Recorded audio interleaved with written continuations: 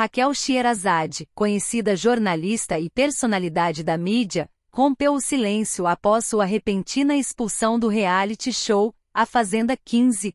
O motivo? Uma intensa discussão com a influenciadora Jenny Miranda.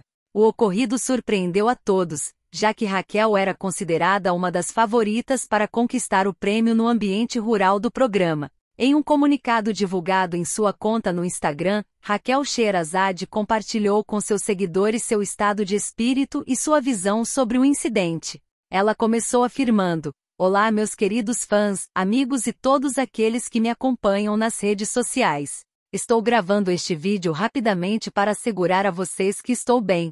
Como todos sabem, deixei a fazenda esta manhã, estou de volta em casa e já fui acolhida calorosamente pelos meus filhos e minha querida mãe. Estou bem. Em breve, voltarei a me comunicar com vocês sobre as razões que me levaram a sair do programa. Raquel Sherazade explicou que, devido a compromissos contratuais, não poderia fornecer detalhes específicos sobre os acontecimentos que levaram à sua expulsão.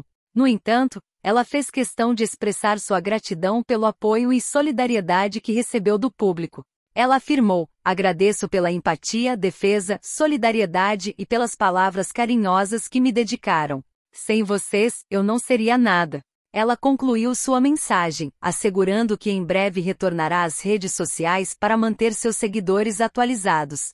Para aqueles que não acompanharam o acontecimento, a Record TV exibiu o momento em que Raquel Sherazade se viu envolvida em um confronto com Jenny Miranda. Durante a discussão, Raquel colocou a mão no rosto de Jenny, que imediatamente alegou ter sido agredida.